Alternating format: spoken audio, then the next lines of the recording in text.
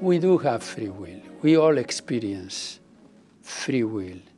We experience that genuinely we can choose between alternative courses of action. That comes from our great intelligence that came about by evolution. We explore the possibilities of behavior and we choose one rather than another. One way of uh, asserting that is pointing out that, in fact, when confronted with alternative courses of action, we can explore still more alternatives that we can create at least in our mind. So the exercise of free will has enormous variety, enormous possibilities.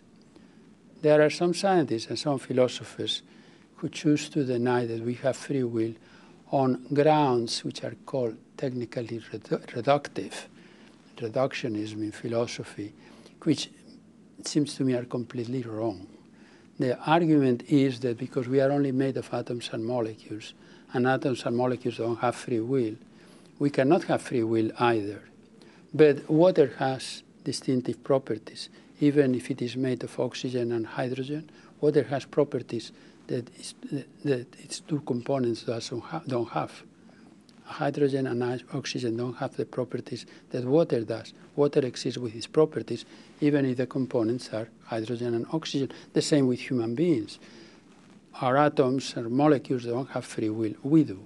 It's an emergent property, a consequence, again, of our advanced intelligence.